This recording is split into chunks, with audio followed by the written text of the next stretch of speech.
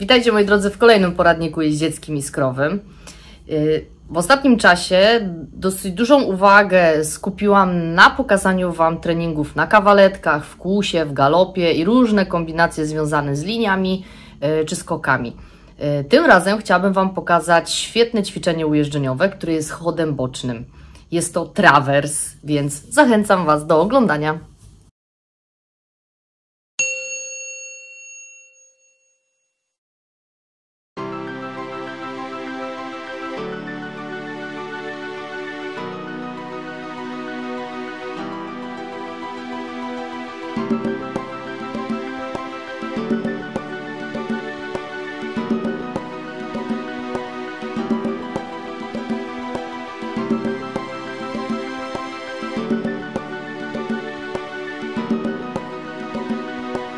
Zaczniemy od tego, że opowiem Wam o tym, co to jest właśnie trawers. Trawers jest chodem bocznym, w którym koń porusza się po czterech śladach, czyli musimy mieć na uwadze to, że każda noga idzie swoim śladem.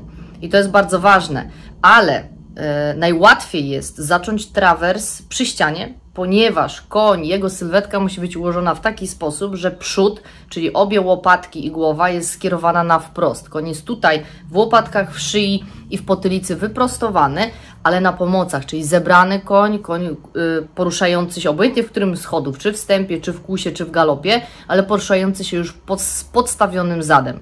I w momencie, kiedy chcemy zrobić trawers, Zewnętrzna łydka cofa się za popręg, ale maksymalnie, słuchajcie, 10 cm, bo często jest tak, że jeźdźcy przesuwają bardzo daleko na brzuch i jeszcze podkopują i, i wciskają tą łydkę, to jest błąd. My dążymy do tego, żeby koń niemalże od sugestii nam yy, odpowiadał, tak? Czyli w momencie, kiedy myślimy o przesunięciu zadu, to cofamy zewnętrzną łydkę i koń zadem wchodzi do środka, a nasze, yy, nasza wewnętrzna wodza I tutaj wewnętrzna łydka odpowiedzialna jest za to, żeby pilnować przodu, żeby on był wyprostowany i nie schodził do środka, ani koń nie wpadał łopatką. I wtedy uzyskujemy zgięcie. Zgięcie w żebrach, nie w potylicy, nie w szyi, tylko zgięcie w żebrach. Także koń owija się wokół wewnętrznej łydki i poruszamy się w stępie lub w kłusie czy w galopie w taki sposób, że każdy ruch jest y, Y, przez jeźdźca tak jakby zaznaczany. Ale pamiętajcie o tym, że to my zabieramy się z ruchem i wysyłamy konia do ręki, nigdy na odwrót. Czyli nie cofamy ręki, nie wstrzymujemy konia nie wiadomo jak, tylko wysyłamy konia dosiadem płynnie do właśnie stabilnego, równego kontaktu, który zachęca do y, prawidłowego ustawienia właśnie w tym ćwiczeniu. Zaprezentuję Wam najpierw trawers wstępie, wykonywany przy ścianie, tak żebyście zobaczyli ułożenie ciała i w jaki sposób wszystkie cztery nogi poruszają się. Ale pamiętajcie, że w trawersie i jak w każdym innym chodzie bocznym, najważniejsze jest utrzymanie rytmu i zachowanie taktu. Tak? Ta dążność ruchu naprzód jest priorytetem, czyli koń nie może nagle iść bardzo wolno, jak zaczyna iść właśnie z zadem do wewnątrz, bo tak naprawdę trawers to inaczej jest zad do wewnątrz, tak? Tylko musimy zachować łopatki prosto konia. Jeździec musi siedzieć w taki sposób, że wewnętrzna kość kulszowa jest trochę bardziej ociężała, czyli tak jakby nam Lewe, jak robimy od prawej łydki yy, przesuwanie, tak, zadu, czyli od prawej łydki, która się cofa za popręg i przestawiamy zad do środka, to lewa łydka musi być na popręgu, lewe biodro troszeczkę opada, tak jakby one ma opadać, czyli ta kość kulszowa jest troszkę bardziej ciężka. Wewnętrzna wodza kontroluje wyprostowanie szyi i kontroluje łopatkę, a zewnętrzna wodza prowadzi konia w bok. Wewnętrzna łydka jest aktywizująca. Wewnętrzna łydka pilnuje aktywności, pilnuje tego, żeby koń, najprościej mówiąc, owijał się wokół wewnętrznej łydki. Tak jak już wcześniej wspomniałam, teraz Wam zaprezentowałam trawers w wstępie, a zaraz pokażę Wam w kusie i w galopie.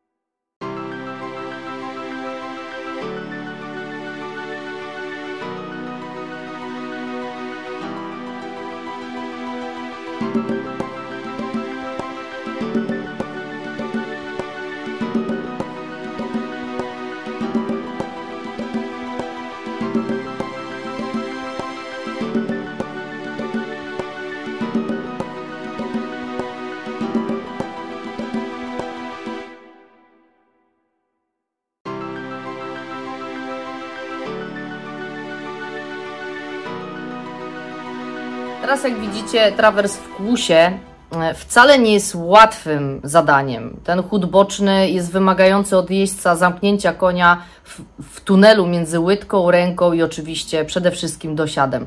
Jeździec musi mieć dosiad przepuszczalny, dosiad podążający i zawsze jedziemy konia od łydki do ręki, czyli ręka musi być wyniesiona nad szyję konia, kontakt ma być e, delikatny, lekki, ale podążający z koniem, tak jakby, tak? Czyli jak prowadzimy tą zewnętrzną łydkę cofniętą za popręg zad do środka, to ten koń musi dochodzić do wewnętrznej łydki, zgiąć się w żebrach. Już nie, niejednokrotnie mówiłam Wam o tym, że koń y, jest bardzo mało mobilny, jeśli chodzi o kręgosłup, tak? Czyli w odcinku lędźwiowo-krzyżowym koń w ogóle nie jest w stanie się zgiąć, tak? On może, bioderko może opaść na dół, ale nie zegniemy konia do środka. Jedynie co możemy właśnie uzyskać zgięcie w żebrach, yy, pracę mięśni tutaj żeber i kontrolowanie łopatki. Tutaj bardzo ważne jest właśnie w trawersie i w stępie, i w kłusie, i w galopie, żeby zachować właśnie yy, tą dążność ruchu naprzód oraz to, że koń pcha się zadem. Bo przód się nie krzyżuje, jak zauważyliście, tak? Przód idzie prosto, a to zad troszeczkę musi, musi nakładać się tak jakby i te nogi się krzyżują.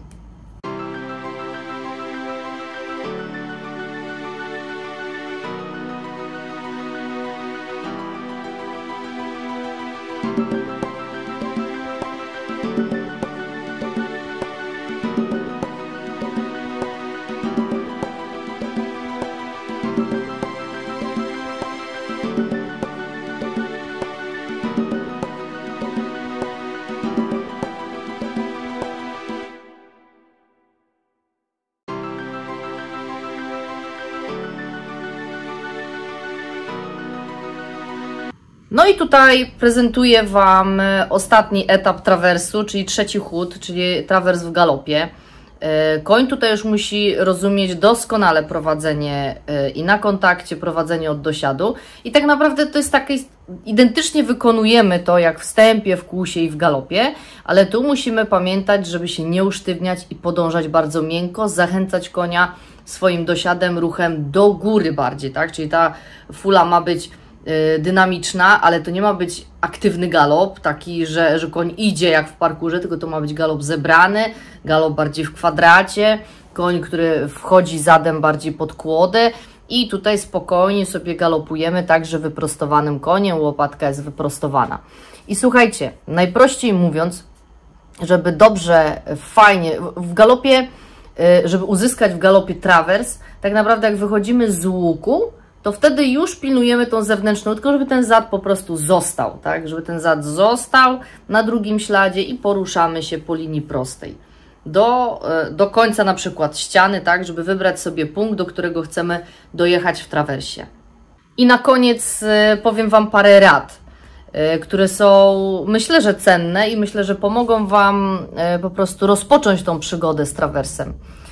Najłatwiej jest, żeby zacząć trawers, nie musimy od razu całą ścianę. Możemy zro zrobić 2, 3, 4 kroki. A najprościej jest, słuchajcie, jak wychodzimy z wolty na przykład, albo wychodzimy z zakrętu. Ja na przykład jak uczę jeźdźców, to robię to tak, że jedziemy sobie kłusem albo najpierw stępem, tak, żeby, żeby zrozumieć. Jedziemy stępem, wchodzimy ciasno w zakręt, tak jakbyśmy wyjeżdżali na rożnik czworoboku. Wyjeżdżamy i już zewnętrzną pilnujemy tego, żeby zad został po prostu został na drugim śladzie. I wtedy ten koń idzie. Często pojawia się problem taki, że koń zaczyna wpadać łopatką, albo nam zaczyna odchodzić od ściany, tak? I my nie możemy nad tym zapanować i chcemy wtedy na obowodzach przytrzymujemy i wtedy się wszyściutko rozsypuje. Ale dlatego, bo utraciliśmy dążność i brakuje kontroli wtedy na wewnętrznej wodzy. To jest tak, że jak wejdziecie z zakrętu i zewnętrzna łydka jest cofnięta, zewnętrzna wodza prowadzi, tak? Czyli ona jest napięta, prowadzi, to wewnętrzna łydka jest na popręgu i ona musi pilnować tego, żeby koń nie utracił tempa, Wewnętrzne kolano tak samo pilnuje, lewe bioderko opada, czyli kość kulszowa lewa jest tak jakby bardziej ociężała, ale nasz tułów jest względem, nasze barki są względem barków konia, tak? Czyli my musimy być wyprostowani, patrzymy, a tu jest zgięcie, tu lewe bioderko opada, prawa łydka, prawa łydka się cofa. Ale pamiętajcie, opadanie biodra nie oznacza przekrzywianie się, przesuwanie się, bo to jest bardzo wtedy, mm, e, można powiedzieć, że to jest niewykonalne, żeby zrobić to prawidłowo, jak nasze ciało zaczyna się przekrzywiać, zaczynamy kombinować, e, przesuwając się, pchać biodrem, którzy jest tak pchają, opadają, zaciągają wodę, no i wtedy to po prostu się rozpada, ponieważ zaczynamy się napinać, koń e, oczywiście też zaczyna się usztywniać, zaczyna prostować łopatkę, przy, brakuje wtedy zgięcia w żebrach i wszystko się rozsypuje. Więc Wy musicie działać pulsacyjnie i każdy krok jest wspierany łydką, podpierany całą półparadą i dosiadem. I zobaczycie, że jak uda się Wam 2-3 kroczki w wstępie, potem zrobicie 4 kroczki, yy, potem 5, potem całą ścianę i nagle się okaże, że zaczniecie pracować w kłusie i tak samo będziecie czuli yy, Będziecie czuli to, jak ten zad wchodzi do środka i koń utrzymuje ten balans, utrzymuje ten rytm, utrzymuje tą energię, bo to jest wbrew pozorom, jak ułożymy konia właśnie prawidłowo, słuchajcie, to jest naprawdę świetne uczucie. Koń jest, skręca się nam od naszej łydki, ale nas zabiera i wtedy to jest bardzo wygodne. Nie czujemy wtedy na ręce, słuchajcie, tutaj betonu jakiegoś, jak niektórzy mówią, ani, ani tony na rękach, tylko po prostu lekkość sobie podążamy, ta ręka idzie idzie do kontaktu, zachęcamy konia lekką półparadką. Moi drodzy, to na tyle. Wiem, że to jest dosyć trudne ćwiczenie i to jest zaawansowane ćwiczenie już ujeżdżeniowe, można powiedzieć, ale żeby być coraz lepszym miejscem i żeby coraz bardziej świadomie yy, powodować koniem, coraz bardziej świadomie działać łydką i zrozumieć w ogóle tą łydkę, to musimy zacząć próbować przestawiać zad.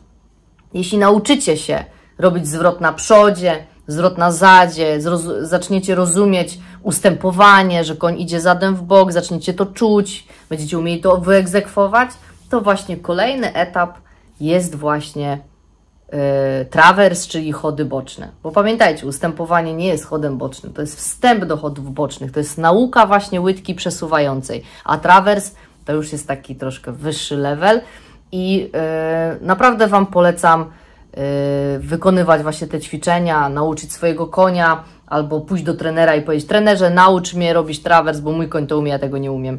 Życzę Wam tego i mam nadzieję, że podobał Wam się ten odcinek. Ja tymczasem się żegnam. Dziękuję, że jesteście z nami i do zobaczenia.